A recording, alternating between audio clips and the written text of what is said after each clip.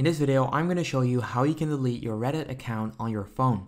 So first of all, you want to open the Reddit app on your phone and click at the top left corner so that you will get this drop down menu. Then click on settings and you want to scroll down until you find help FAQ. Then click on that and then right there you can actually search for anything. And you want to type in deactivate and hit search. Then next up, you will find all of these different results and you can click on them, but you want to click on how do I deactivate my account. This will bring you over to another page where you can actually get started with the process. So you want to click on this link and then right there, they will take you to this page right there where you can actually deactivate your account.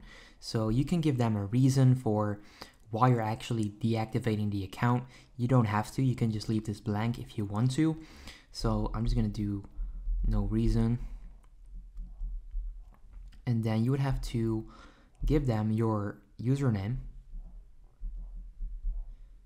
9181 and then your password just to make sure that it's actually you. I'm gonna blur that for you guys again. And then next up, you can actually click on, I understand that deactivated accounts are not recoverable.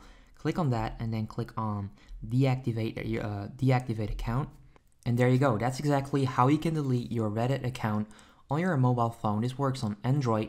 Make sure you go ahead and leave a like and comment down below that this works so that other people can do this as well. And that's it for now. I'll see you in the next video.